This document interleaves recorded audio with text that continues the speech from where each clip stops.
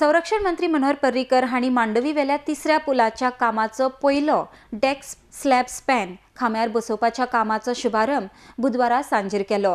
ह्या वेळार तांच्या वांगडा गोंय राज्य साधन सुविधा विकास महामंडळाचे अध्यक्ष सिद्धार्थ कुंकळकार आनी हेर पदाधिकारी हजर आसले ह्या वेळार मिडिया कडेन उलयतना जानेवारी दोन हजार सतरा इतले मेरेन पुलाचें काम पुराय जातलें. अशें तांणी सांगलां. न्हंयतल्या चारूय खांब्याच्या पायलिंगाचें काम णव्वद टक्के पुराय जालां तशेंच हरीत लवादान एकाद्यान कागाळ केल्ल्यान मेरशेचें काम जरी बंद आसलें मात आतां हरीत लवादान ह्या कामाक मान्यताय दिल्ल्यान कामाचो रस्तो मेकळो जाला अशें तांणी फुडें सांगलां. आरडीएक्स खातीर परवरच्यान Sanjay Manoli.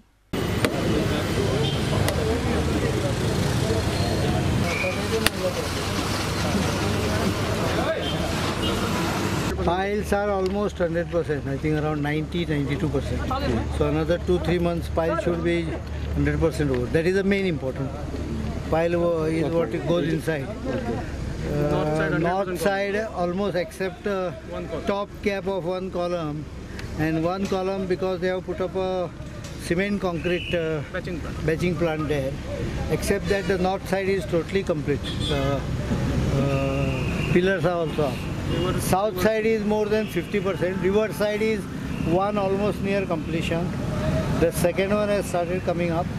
Third and the fourth will come by in next two three months. So by january you will see december january you will see half the bridge uh, getting ready.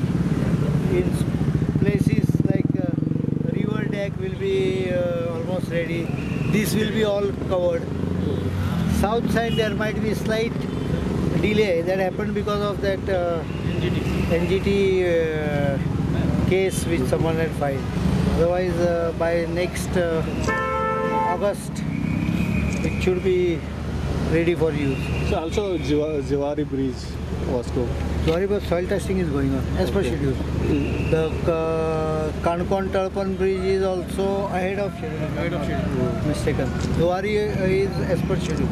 First, have to do. There are a lot of things which are done, which don't appear uh, as having completed. Because if you do something underground, in the in the water, it is not visible. Once it comes up, it is becomes. से India में पहली बार ऐसा ये bridge इतना fast work हुआ ऐसा लग रहा है नहीं अभी ये गवर्नमेंट आने के बाद सब ब्रिज ऐसा ही फास्ट